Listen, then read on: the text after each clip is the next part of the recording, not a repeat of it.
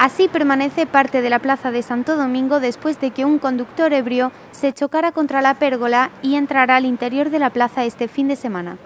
La zona se mantiene acordonada por parte de la policía local y las brigadas del ayuntamiento recogerán los restos del accidente que dejó, como ven, el mobiliario urbano.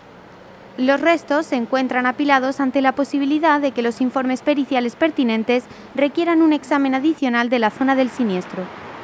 El accidente requirió la intervención de un coche del Cuerpo Nacional de Policía, así como sendas patrullas de la Policía Local de Guadalajara, en total seis efectivos.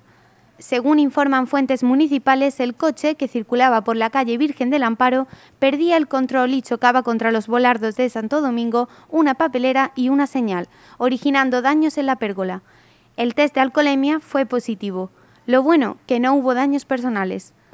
El auto accidentado, que despacio no parece que iba, se metió dentro de la plaza y al romper parte de la pérgola el techo se hundió. El frontal del vehículo quedó parcialmente hundido a consecuencia de las sucesivas colisiones.